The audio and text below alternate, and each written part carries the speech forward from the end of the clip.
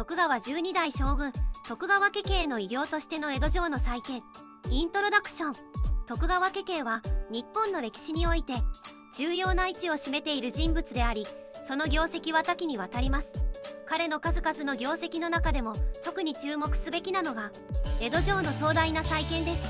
この動画では徳川家系の生涯と彼が成した最も印象的な偉業である江戸城の再建について具体的に3つのトピックに分けて詳しく解説します。彼の生涯とその偉大な業績を詳細に検討することで彼の深い影響力とその偉大さをより深く理解できるでしょう。徳川家系の生涯とその業績について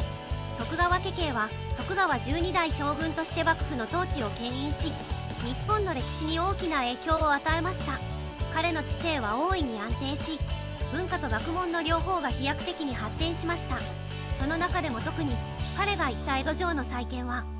最も重要な業績の一つとして今日まで語り継がれています。そこでこの部分では彼の生涯とその業績について深く掘り下げその影響力と偉業を詳しく解説します。江戸城の進化再建への道のりとそのプロセス大火によって壊滅的なダメージを受け一度はその存在を脅かされた江戸城の再建は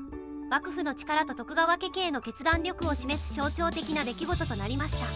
彼は莫大な資金と多くの労働力を投じ壮大な城郭を再建しました。この再建作業は当時の日本の技術力と工芸の成功さを世界に示すものでありそれ自体が一つの歴史的な偉業と言えるでしょう。この節ではその再建のプロセスとその過程で示された技術力について深く探ることにします。再建された江戸城の影響とその後の歴史について江戸城の再建は徳川家系の知性を象徴する出来事でありその影響は今日まで続いています。再建された江戸城は現在の東京都心に位置する皇居の基礎となり日本の首都の象徴となっています。またその壮大さは日本の城郭建築の代表例とされ国内外から多くの観光客を引きつけその美しさと歴史的な価値を証明しています。この節では再建された江戸城がどのように日本の歴史と文化に影響を与えたかその後の歴史とともに詳しく探ります。結論徳川家系と江戸城の再建は日本の歴史を象徴する重要なテーマでありその影響は現代まで続いています。彼のリーダーシップと決断力は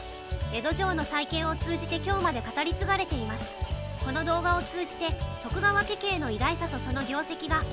少しでも理解できれば幸いです。今日の動画はここまで。最後まで見てくれてありがとうございました。このチャンネルでは日本の侍に関する情報を5分以内の短くまとめた動画を毎日投稿中。